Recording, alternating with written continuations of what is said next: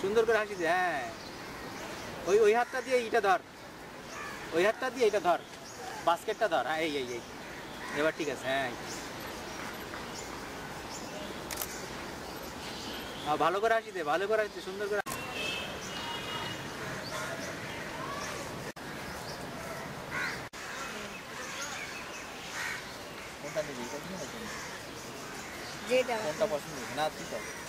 I am Abir Abdullah. I have been working as a documentary photographer from 1996, but I have started my uh, photojournalistic career in 19, in 2005, working with European Press Photo Agency.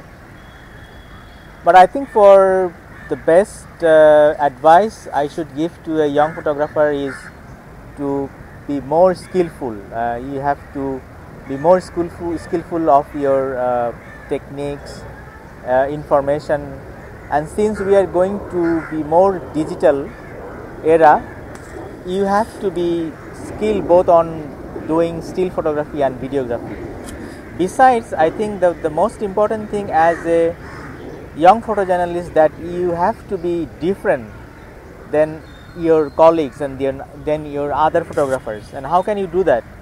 You can do that by you know by going a place where you can see the uh, best angle of that place or you can see the best uh, lighting condition of that place. And definitely you have to have an eye to observe the subtle moment of life. And of course you have to have that skill to capture a moment which we often call the decisive moment